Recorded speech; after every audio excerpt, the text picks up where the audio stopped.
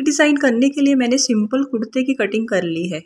और इस पर जो मैं नेक बनाऊँगी, वो भी सिंपल राउंड नेक है। इसकी जो विथ है, वो मैंने टू एंड हाफ़ इंच ली है।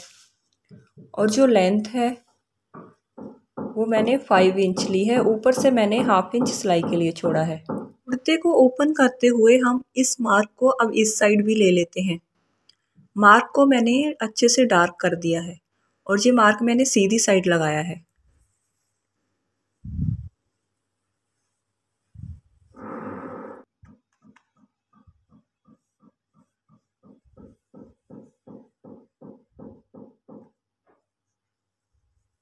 मार्क को डार्क करने के बाद मैंने ये शेप कट की है।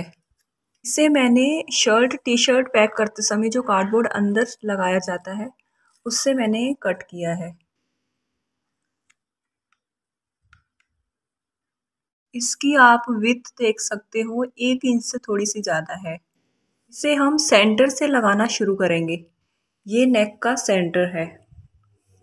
सेंटर से लगाने से दोनों साइड एक जैसा डिज़ाइन आएगा। इसे हम थोड़ा सेट करके रखेंगे और किसी भी पेन, पेंसिल, जिससे ये मार्क डार्क नज़र आए, उससे लगाएँगे। मैंने ये स्केच पेन लिया है, जिससे जी मैंने यहाँ पे मार्क लगाया है।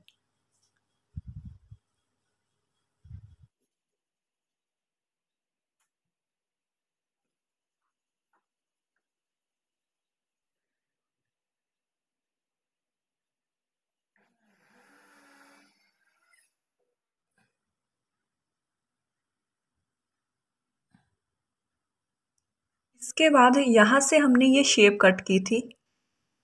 वहीं पे हम ये हाफ़ सर्कल ड्रॉ करेंगे।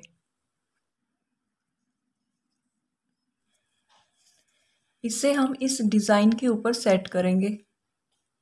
और जितनी ये विथ है, यहाँ से हम उतना छोड़ते हुए मार्क लगाएँगे।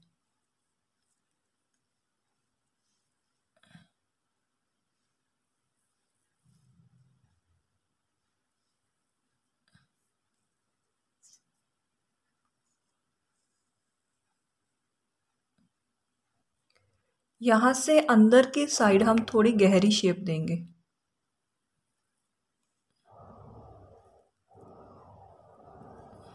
अब जो हम यहाँ पे मार्क लगाएँगे, उसे आप ऐसे शेप कट करके भी लगा सकते हो और इंची टेप से यहाँ से नाप कर भी लगा सकते हो।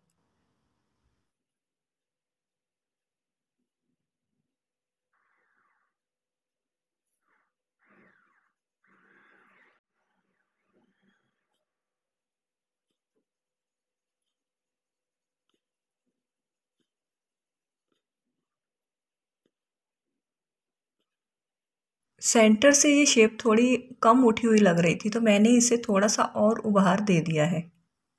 डिज़ाइन कंप्लीट करने के बाद अब नीचे की साइड हम फ्यूजिंग पेपर पेस्ट करेंगे।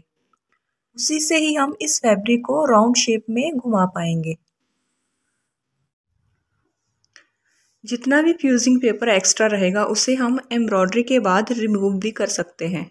इस डिज़ाइन को आप इसी तरीके से और भी आगे बढ़ा सकते हो।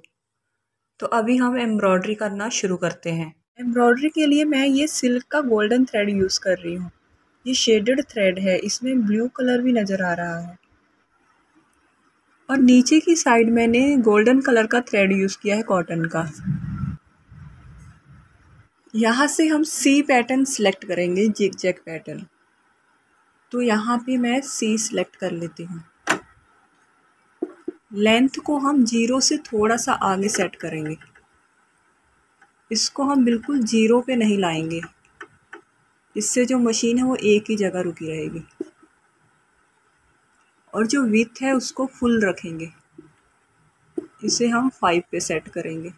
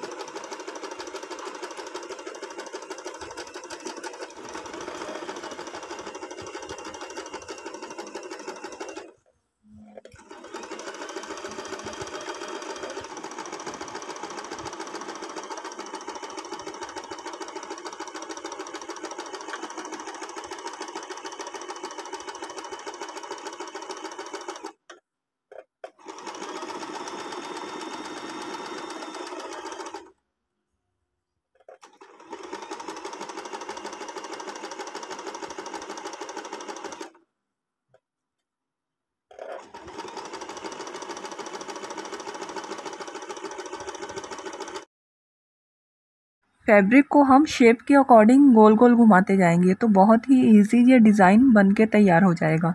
और इसे बनाने में भी आपको ज़्यादा टाइम नहीं लगेगा।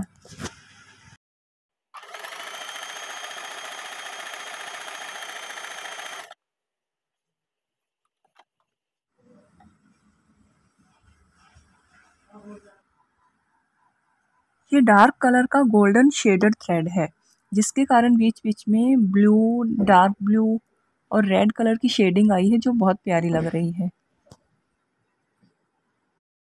इसी तरीके से हम घुमाते हुए ये पूरा डिज़ाइन कंप्लीट करेंगे। इसमें हमने एक ही बार मशीन की सेटिंग की है। बार बार हमें सेटिंग चेंज करने की ज़रूरत नहीं पड़ेगी। एक ही सेटिंग में पूरा ये डिज़ाइन कंप्लीट हो जाएगा।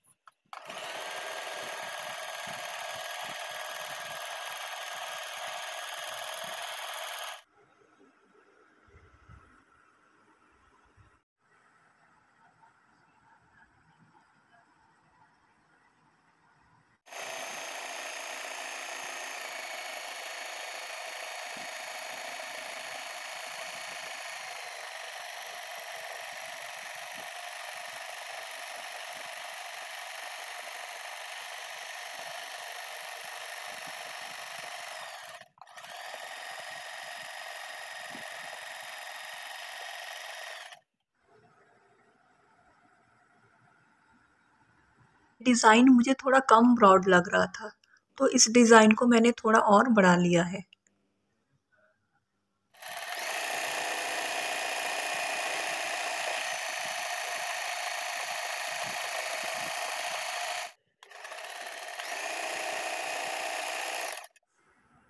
तो पूरे डिज़ाइन को मैंने कंप्लीट कर लिया है। इसको आप मिरर, स्टोन और जो भी आपके पास अवेलेबल है, उससे डेकोरेट कर सकते हो। मेरे पास ये गोल्डन कलर के स्टोन रखे थे तो मैंने इन्हें दो तीन तरीके से नेक पे सेट करके देखा और डिज़ाइन बना के देखा तो ये डिज़ाइन मेरे को सबसे सही लगा। तो अभी मैं ये सभी स्टोन हटा के इन्हें ग्लू के साथ लगाऊँगी।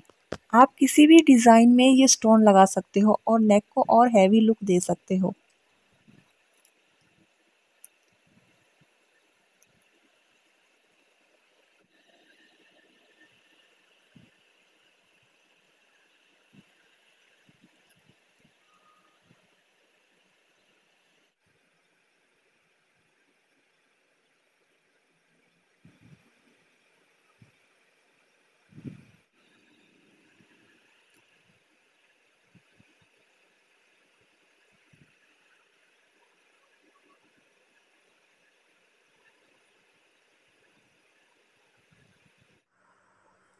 नेक कंप्लीट करने के बाद पूरा कुर्ता मैंने कंप्लीट कर लिया है। इसके साथ मैंने अम्ब्रेला प्लाजो स्टिच किया है। और जिसके बॉटम पे मैंने एम्ब्रॉयडरी से मैच करती हुई गोल्डन कलर की लेस लगाई है। इस ड्रेस का जो कलर है, बहुत ही प्यारा कलर है मोर पंखिया कलर पर कैमरे में जो बिल्कुल ही डल नज़र आ रियल में ये कलर बहुत ही ब्राइट है, पर अभी ये बिल्कुल ही अलग नज़र आ रहा है। इस ड्रेस के साथ मल्टी कलर में दुपट्टा है, जो ड्रेस को और भी सुंदर बनाता है।